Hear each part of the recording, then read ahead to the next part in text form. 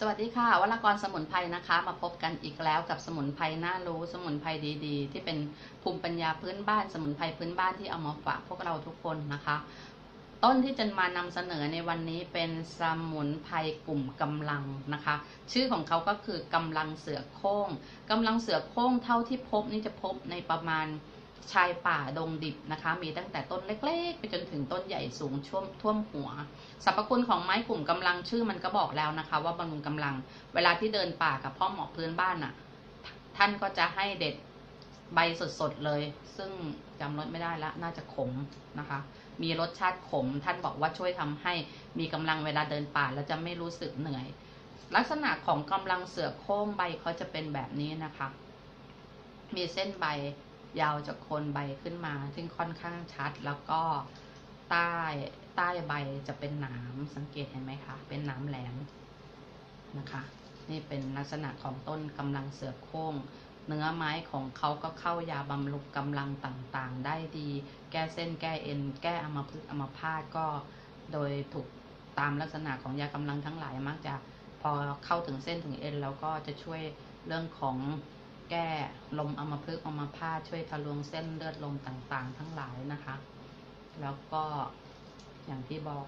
สมุนไพรที่กินได้ก็ลองชิมดู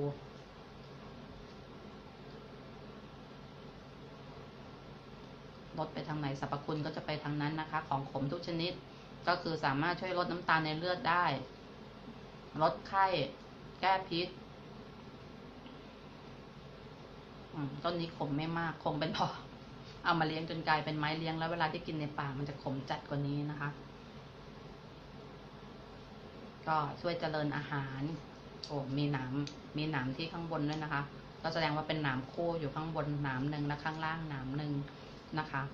เป็นสมสมุนไพรที่น่าปลูกน่าสะสมค่ะ ในตำรับยาโบราณก็ได้พูดถึงต้นกำลังเสือโค้งอันนี้ไว้หลายตำราเหมือนกันนะคะ ในกลุ่มของกำลังได้แก่กำลังเสือโค้งกำลังช้างเผือก กำลังช้างสารกำลังวัวทะเลิง อะไรอย่างเงี้ยเป็นต้นนะคะ ซึ่งก็ชื่อเขาก็บอกอยู่แล้วกำลังก็คือบำรุงกำลังบำรุงร่างกาย ให้แข็งแรงเป็นยาอายุวัฒนะแก้ปวดเมื่อยทั้งหลายนะคะ ก็วันนี้ก็ขอแนะนำให้รู้จักกับต้นไม้เล็กๆในป่าใหญ่ที่น่าสนใจ